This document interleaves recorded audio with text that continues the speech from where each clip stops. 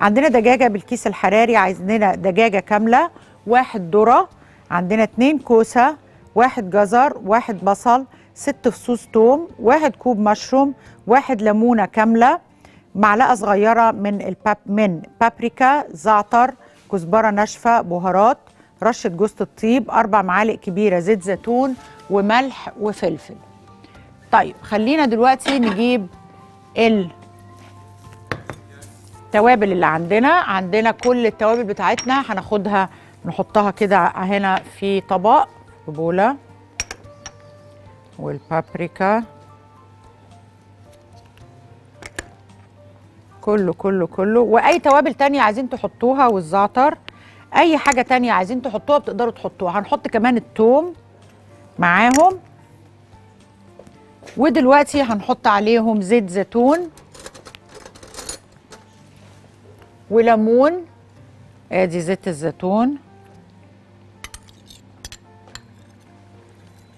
وادي ليمون. هناخد ليمونة نعصرها والليمونة التانية هنخليها كده آه، شرايح. تمام. ناقص بقى إيه؟ شوية ملح وفلفل وكده. تمام. النهارده بقى عندنا ضيفة مميزة جدا. هتكلمنا عن حاجات لذيذة هي ال stylist طبعا المعروفة جدا دينا نصير. هتقول لنا بقى عن كواليس كده الحاجات بتاعت الشغل بتاعها وقد إيه أهمية ال- التغيير اللبس في في, المس... في كل حاجة في الميديا في المسلسلات. تمام يلا بينا بقى نروح على الفرخة بتاعتنا. تعالي. تعالي تعالي. هنتبلها بقى كويس جدا من جوه كده ومن بره وفي كل حاجة.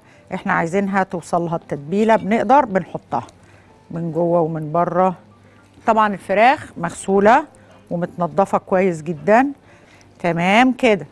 طيب هناخد بقى دلوقتي الفرخة بتاعتنا. شوفوا هنعمل إيه. عايزين نجيب على إزاي هنستعمل بقى الكيس الحراري. الكيس الحراري بنحط جواه شوية دقيق يعني معلقة كده من الدقيق. دي بتخلي بس الحاجة اللي جوه نوعا ما ما تلزقش. بس يعني هو ده الفايدة بتاعت الدقيق اللي بنحطه جوه الكيس. فهحط كده معلقة هوريكم إزاي. والكيس الحراري ده بيبقى موجود في كل السوبر ماركتات متوفر يعني. بنمسكه كده بنحط الدقيق وبنمسكه كده وبنرج جامد. بعد ما بنرج كده بناخد الدقيق تاني ونرجعه مطرح مكان. طيب بصوا بقى يا حبايبي. هناخد دلوقتي بولة تانية هنحط فيها الخضار. المشروم عايزين تقطعوه قطعوه. عايزين تحطوه زي ما هو حطوه زي ما هو زي ما أنتوا عايزين. إحنا ممكن نقطعه مثلا اتنين أو تخلوه زي ما هو. لو صغير خلوه زي ما هو. لو حسيتوه كده عايز يتقطع اتنين اقطعوه. شوفوا هي الفرخة هتستوي كمان ساعة. يعني ساعة هي هتكون جاهزة. بس إحنا هنخليها ساعة ونص علشان تبقى قطرة هناخد بقى الخضار اللي عندنا نحطه كده كله هنا. وهناخد كمان توم آه زي ما هو نحطه. وهناخد الذرة. والكلام ده كله هنحط له شوية بقية التتبيلة اللي فضلت عندنا. بقية التتبيلة وممكن نضيف لها كمان يعني لو هي هتنزل مية فالصراحة ما بنحطش مية. هنحط كده التتبيلة بتاعتنا هنا ونقلب الكلام ده كله. كل كده الكلام ده بقى هيبقى خلي تاني هقلع الجلافز اتهريت وأنا بقلع وبحط في الجلافز علشان مش عايزة أ- أوسخ الكيس. عايزاه يفضل نظيف. هنحط تحت الخضار بتاعنا في الكيس وهنحط فوقيه الفرخة بتاعتنا. آه مرات كتير الأكياس دي بيضيع منها بيبقى جاي معاها كده حاجة علشان هي نقفل الكيس بيها. لو ضاعت بنقدر نستعمل الخيط بتاع اللحمة الروستو مثلا. آه من ضمن الحاجات اللي بنقدر نستعملها يعني. هناخد دلوقتي الخضار ونحطه كده هنا جوه.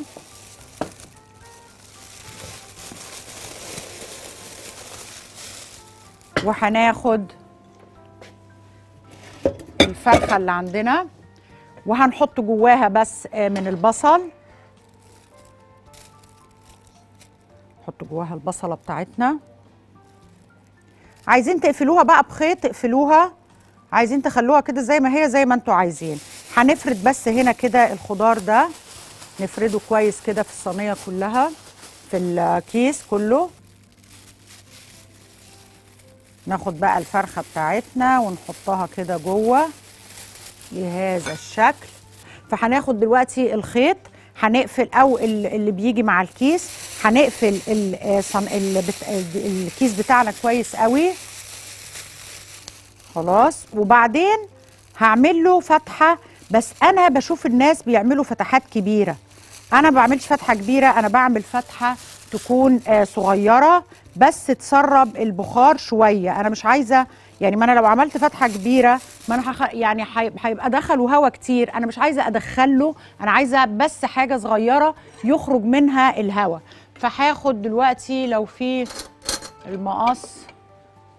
ماشي يلا هناخد السكينة بس. بعمل فتحة بصوا قد إيه؟ كده أهي. بس كده. بعملش أكتر من كده ابدا. هي دي. تمام؟ هي دي. بص دي بقى هناخدها نحطها في الصينية بتاعتنا وهندخل بيها على الفرن. إزاي هنسويها يا غادة؟ شوفوا هتاخدوها تحطوها في الفرن على أعلى درجة حرارة لمدة 20 دقيقة. تمام؟ يبقى إحنا كده من الساعة ونص فاضل لنا ساعة وعشر دقايق. الساعة والعشر دقايق دول هنخليها على درجة حرارة 180